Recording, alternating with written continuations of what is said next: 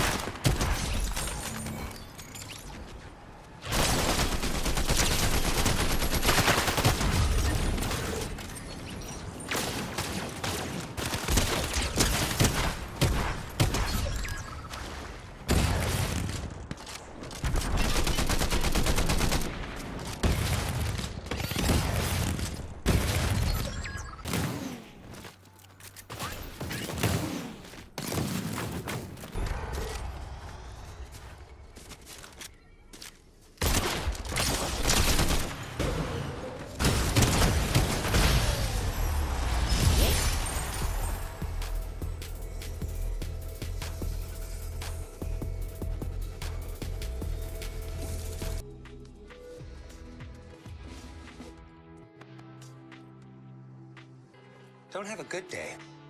Have a great day.